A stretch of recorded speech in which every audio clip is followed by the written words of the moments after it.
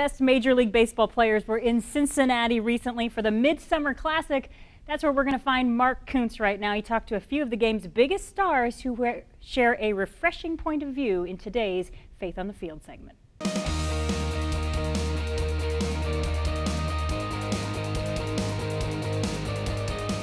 Albert Pujols, Andrew McCutchen, Mark Teixeira, Clayton Kershaw. Between the four of them, they've won five MVPs, a Cy Young, several World Series titles, and they're no strangers to the All-Star game. They said being a baseball player, being an All-Star doesn't define them. Being a Christian is what defines them and what is most important in their life everything. Um, that's why I'm here. You know, if I wouldn't have that faith and that relationship that we that I have with the Lord, uh, I wouldn't be here today. Uh, you know, because I, I had so many challenges through through life, like everybody else, and because my faith, you know, and believing in Him, that through injuries and through Him I can do all things. Feel a great source of uh, growth and in, in my in my Christian faith and um, just growing um, just on an everyday basis, and not only on the field but off. And uh, you know, the game is a great game, and I really love playing the game. But that's not what's most important to me. And I, I, I do I do feel and believe that that's that's helping me as a ball player on the field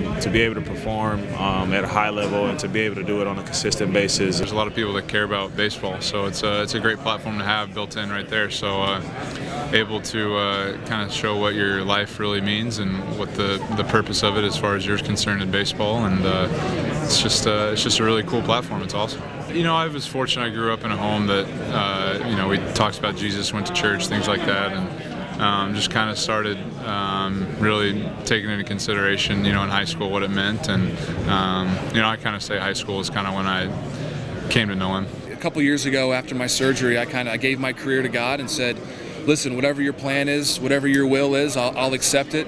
Uh, now I worked really hard uh, in the meantime and said a lot of prayers in the meantime, but my faith was very important getting me through uh, a tough struggle. The Lord is always there for me, whether I go off for four or five for five. You know, I stay focused on my relationship and what I do uh, because I still have a responsibility to go home and, and, and have a, being a parent to five kids and be a husband to my wife. So, uh, you know, I, I try not to get too caught up. I just you know, try to enjoy the game that He has given me and uh, you know, this is an outlet that He has given me so I can share the gospel and, and, and share my testimony with other people.